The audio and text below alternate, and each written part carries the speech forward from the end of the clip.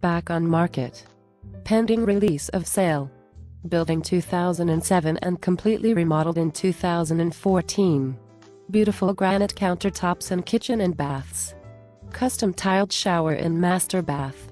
Smooth high ceilings throughout home, new hardwood flooring, and recessed lighting. This home has it all. Too much to list. Taken down to the studs and rebuilt. New sheetrock, insulation and wiring. A brand new home at a fraction of the cost. Make your appointment today before you miss out. Seller is related to licensed real estate agent in the state of Alabama.